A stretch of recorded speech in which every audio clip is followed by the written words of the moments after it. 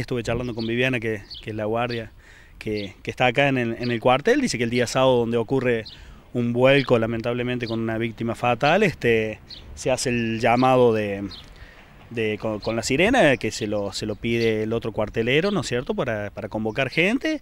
Y bueno, con la anormalidad de que cuando empieza a sonar la sirena, al, segundo, este, como que explotara y se frenó.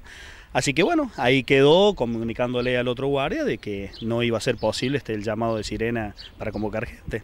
Eh, esto que, que, decís vos explotó literalmente, eh, ¿hubo algunos pedazos que pudo haber perjudicado a alguien?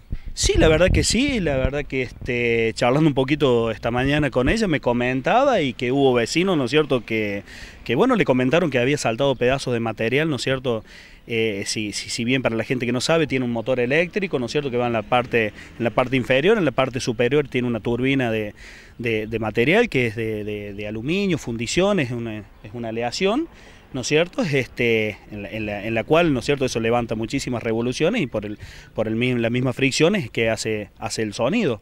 Aparentemente puede, puede que haya pasado, no sé, que, debe, debe, estar asentado sobre bolillero, la verdad que no tengo, no tengo bien la precisión de cómo funciona, este, pero debe estar asentado sobre bolillero, se debe, puede haber roto algún bolillero, al cruzarse ha raspado este, en sus laterales quizás y haya explotado la misma con el desprendimiento de, materiales y que sí, que ha caído en un vecino, este, arriba de, un vehículo, gracias a Dios, sin consecuencia, uno poniéndose a pensar ahora lo que podría haber sido, este, y gracias a Dios no pasó nada.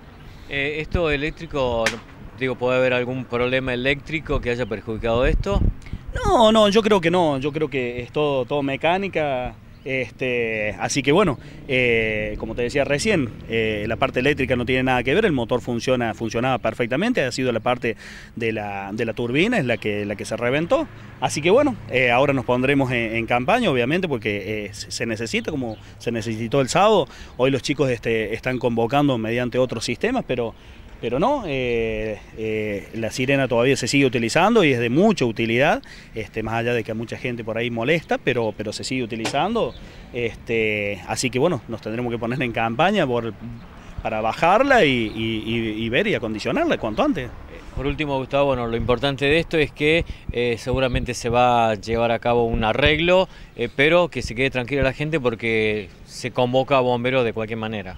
No, no, por supuesto, como te decía recién, este, los chicos se siguen convocando mediante otro sistema, el bombero alerta, este, pues, mediante WhatsApp, este, eh, por, medio de, la radio, handys, este, pero muchas veces este, se necesita, todavía se sigue utilizando porque es la manera más rápida, más común de, de cómo es de convocar a la gente, como te decía recién, así que vamos a tratar de solucionarlo cuanto antes. Esa, vale, vale recordarle, tiene, es algo un elemento emblemático de bombero, esa, esa sirena fue creada en, la Bulalle por, por, el flaco Rataro y, bueno, y después este, puesta en marcha acá y dándole los últimos detalles en el torno, el, el recordado Emilio Turco Agrain. Así que, bueno, lamentablemente hoy no vamos a contar con, con, él para que, para que la repare, ¿no? Bueno, habrá que buscar la posibilidad de que alguien repare, ¿no? Sí, seguramente, obviamente que vamos a conseguir este, el mecánico o la persona idónea para, para, que, para que la ponga de nuevo en funcionamiento.